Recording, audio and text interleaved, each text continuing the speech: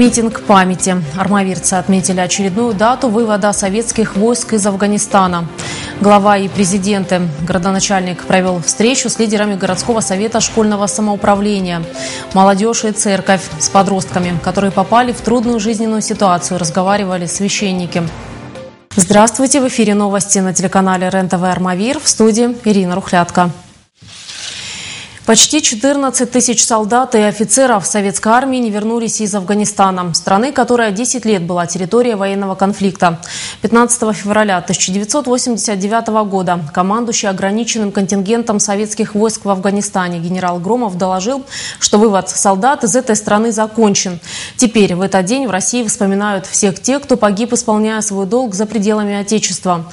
В Армавире прошел митинг с подробностями. Алена Безовчук. Рядовой Олег Ткаченко погиб в августе 1981 года, не дожив до своего 19-летия 4 месяца и 3 дня. Степан Кикиджан, командир мотострелкового взвода, погиб 15 мая 1982 года, посмертно награжден орденом Красной Звезды. И сколько еще героев не вернулось из Афганистана? Мы были все солдатами. Мы ее прошли и с честью пронесли это, нашу службу. Он и праздник сегодня, и день памяти. И даже в этот день мы будем сегодня уже хоронить еще одного нашего афганца, Андреева. То есть война нас не забывает, она потихонечку ведет нас к определенным позициям. 15 февраля, в день окончания вывода советских войск из Афганистана, армавирцы собрались у памятника погибшим в локальных войнах. Цели были в этой войны совершенно явные. И не случись этой войны, наверное, то, что произошло в России – и то, что произошло с Советским Союзом, произошло бы на много лет раньше. И та зараза, та чума, которая сегодня распространяется из Афганистана по всему миру, связанная с наркоманией, то же самое захлестнуло бы нашу страну гораздо раньше. Сейчас в Армавире живут 243 воина-интернационалиста. С каждым годом их становится все меньше, но они живы в памяти их потомков. Конечно, сегодня праздник. И я поздравляю всех с этим праздником. Пусть меньше будет у нас этих военных конфликтов. Пусть наши воины, призывники учатся военному делу и не участвуют в таких конфликтах. Всех с праздником и память, вечная память не вернувшимся с этой войны. Я хочу сказать родителям и родственникам тех, кто не пришел с войны, вечная слава тем героям, которые остались лежать на поле боя. И дай Бог здоровья нашим здесь присутствующим воинам-интернационалистам. Десять раз за афганскую войну Армавиру пришлось встречать груз-200, но в этот день вспоминают и тех, кто погиб, исполняя свой долг в Корее, Вьетнаме, Сирии, Египте, Мозамбике и Анголе.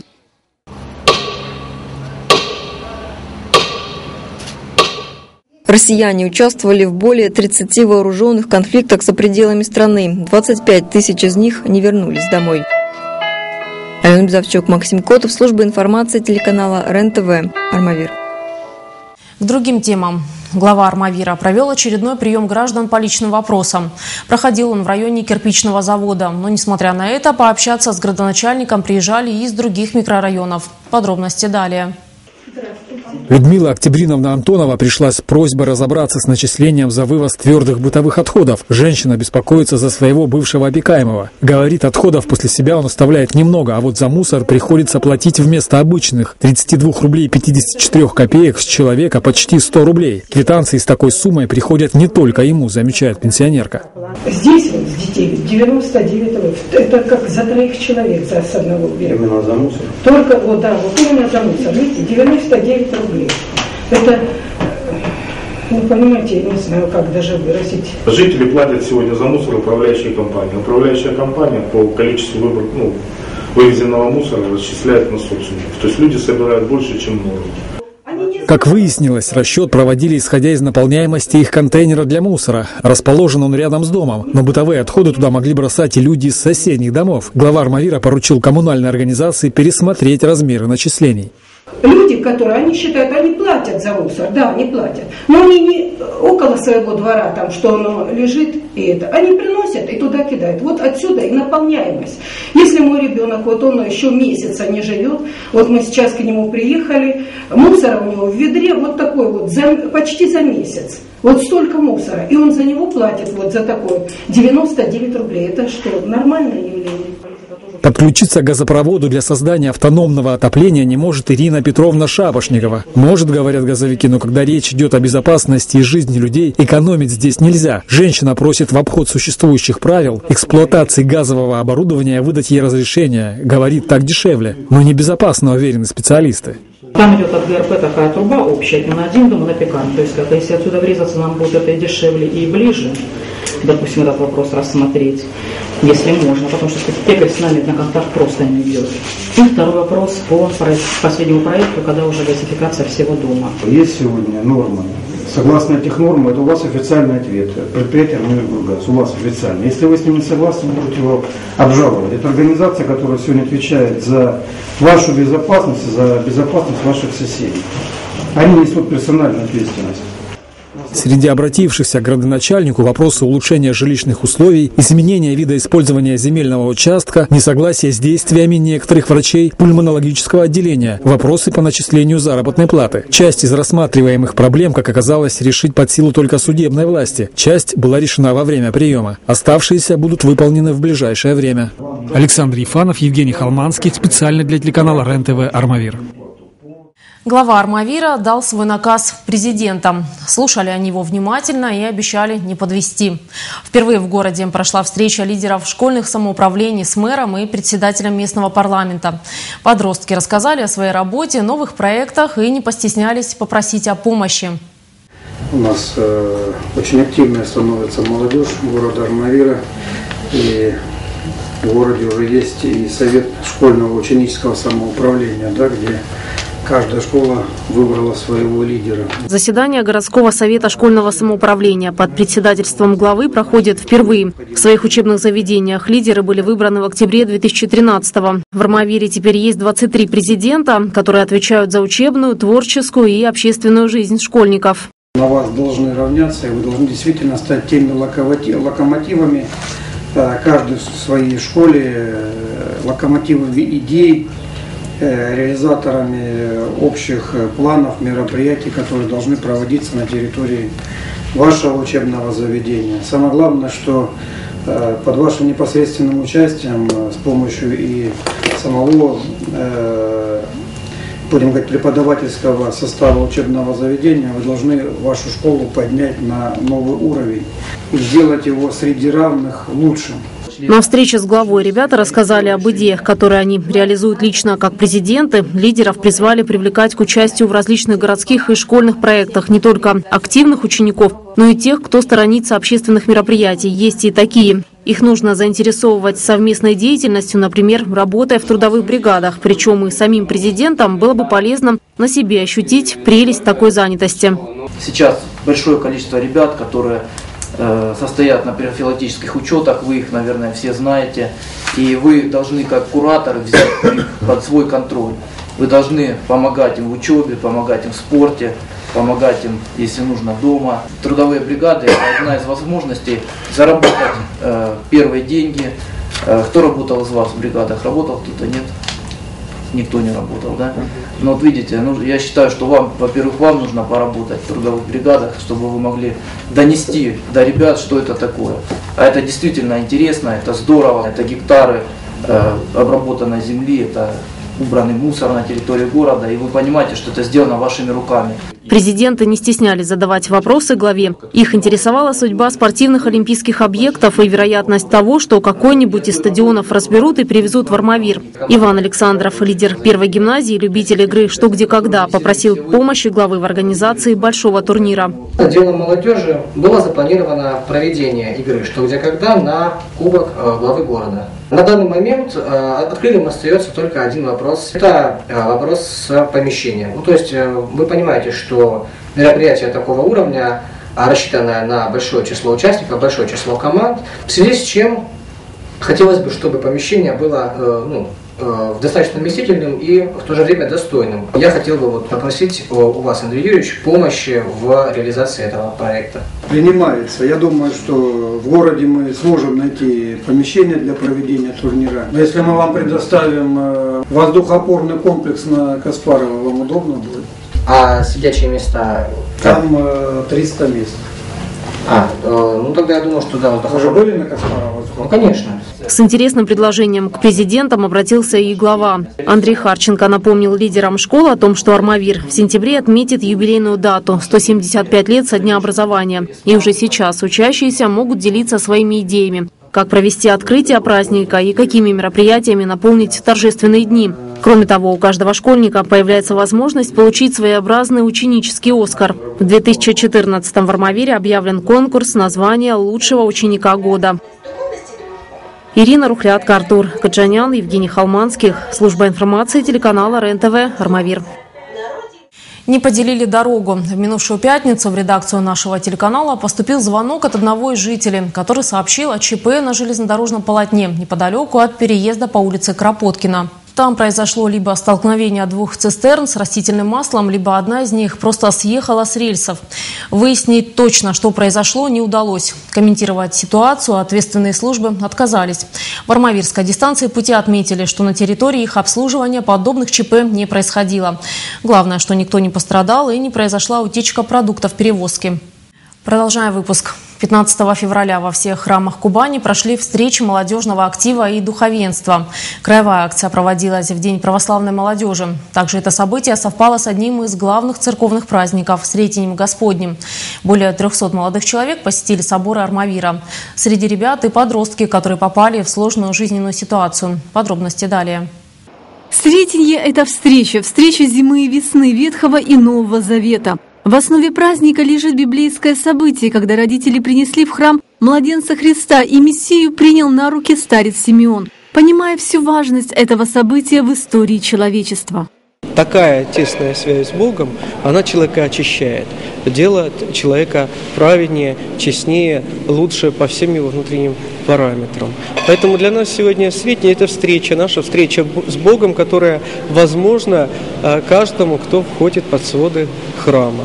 Один из главных церковных праздников совпал с еще одной важной датой – Днем православной молодежи. В этом году акция прошла по всем городам Кубани. Более 300 молодых людей собрались в храмах Армавира. Православие заметно помолодело, заметил священник Свято-Никольского собора отец Антоний. Он провел экскурсию по храму, рассказал о церковных таинствах и отметил важность культурного обмена между православной церковью и самой активной частью общества. Сегодня молодежь э, с церковной точки зрения может оценить нашу с вами культуру. Сегодня молодежь с точки зрения э, своей, своего возраста может оценить те или иные музыкальные новинки, те или иные новинки киноиндустрии, оценить э, какие-то новинки литературы. Все это является интересами современной православной молодежи.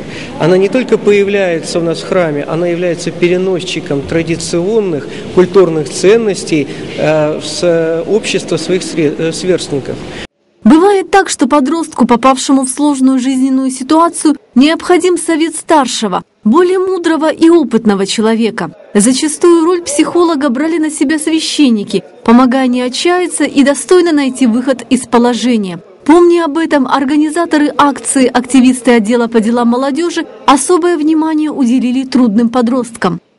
Мы, как один из органов системы профилактики, э, пытаемся всячески вовлечь э, в рамках индивидуальной работы с этими ребятами их в досуговую жизнь, в активную, в творческую. Но в то же время сегодняшнее мероприятие духовное, оно направлено на то, чтобы человек попавший вот в такую трудную жизненную ситуацию, мог обратиться к Богу за помощью. Вы можете в любой момент прийти в храм и побеседовать со священником, если надо получить совет и поддержку, заметил отец Антоний. Самое главное – верить и не замыкаться в себе. В тот же день по окончании основной встречи священник провел и индивидуальные беседы с желающими. Лариса Юровская, Сергей Шульц, служба информации телеканала РЕН-ТВ «Армавир». В воздухоопорном комплексе «Лидер» прошел открытый турнир Краснодарского края по тэквондо среди юниоров. В Армавир приехали спортсмены из Ставрополя, Гулькевичского, Новокубанского и Успенского районов. Выявить перспективных бойцов – главная задача городской федерации. Тему продолжит Лариса Юровская. Нога, кулак, путь или искусство. Именно так переводится название одного из древних видов восточного единоборства тэквондо. Причем слово «искусство» здесь первично. Три раза в год Армавирская федерация принимает участие в краевых соревнованиях. В этот раз гостей встречали у себя дома. Сверхзадачей тэквондо в древности было умение без оружия вывить всадника из седла. Со временем цели изменились. Популяризация этого вида спорта, выявление наиболее талантливых спортсменов – главная цель соревнований. Цель соревнований, конечно, выявить лучших спортсменов. Конечно, это, как у нас принято называть, обкатать спортсменов, чтобы спортсмены получили необходимую практику для выезда на всероссийские соревнования. Флаг соревнований поднимает Хачатур Тарасянс, бронзовый призер чемпионата мира по тэквондо 2013 года. В Лондоне наш боец показал прекрасный результат. В настоящее время собирается улучшить собственное достижение и готовится поехать в Швейцарию, где пройдет чемпионат Европы. Я занимаюсь уже восьмой год. Ну, как бы, сначала я хотел прийти в карате, мне нравилось карате, но потом бабушка меня привела, сказала, давай хочу попробую там позаниматься, может что-то получится. Я начал заниматься и постепенно начал достигать каких-то результатов. Армавирская федерация тэквондо считается одной из лучших в крае. Трижды в год мастера проводят отбор спортсменов в краевую и всероссийскую сборную. Положение тела, умение двигаться в стойке. В приоритете именно искусство ведения боя, поэтому в этом виде спорта нет жесткого контакта. Спортсмены занимаются в большей степени для здоровья и занимаются как искусство в первую очередь, но э, и предотвращает множество травм. У нас в комплекте полная экипировка, которая защищает все жизненно важные органы человека. Это безопасный вид спорта в первую очередь. Тэквондо – олимпийский вид спорта, поэтому в амбициях ребят попасть в сборную страны. Такая перспектива есть у армавирских юниоров. Абсолютными победителями краевого турнира стали Назар Ребик, Артем Теплоухов, Руслан Ткач. Пожелаем ребятам дальнейших побед. Лариса Юровская, Сергей Шульц, служба информации телеканала РЕН-ТВ «Армавир». 13 кубанских спортсменов заявлены на участие в 12-х зимних Олимпийских играх в Сочи. Среди них и наша землячка Алина Гриднева. Девушка занимается лыжной акробатикой. Корреспонденты РНТВ «Армавир» побывали в школе, которую она закончила, и узнали, что помогло ей добиться таких результатов. С подробностями Алена Безовчук.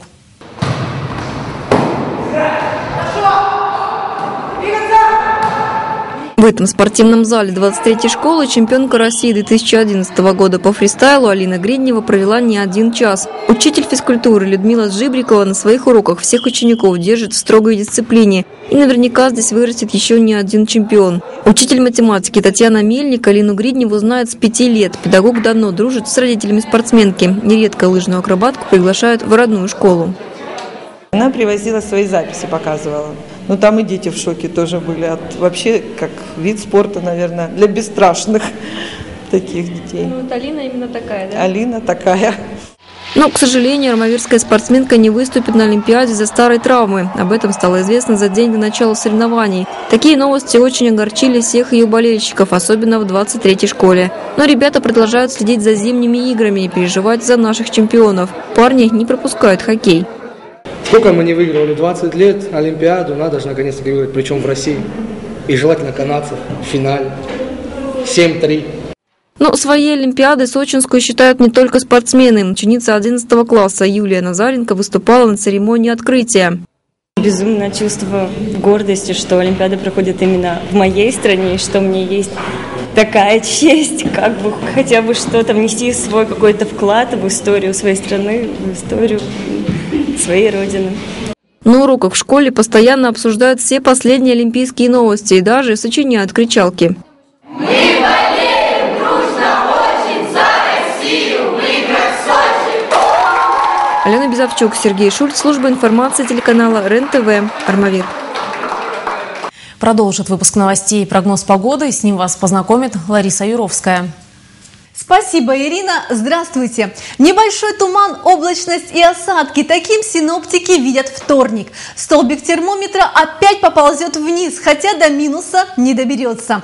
Температура воздуха утром плюс 6, днем 9 градусов выше нуля. Атмосферное давление 744 миллиметра ртутного столба. Ветер западный, умеренный. 18 февраля в 1960 году стартовали восьмые Олимпийские игры. Прошли они в горном курорте Сквавелли на территории штата Колорадо в Америке. Впервые олимпийский огонь забрался так высоко. На протяжении всей подготовки скептики сомневались, удачно ли выбрано место и успеют организаторы завершить все приготовления.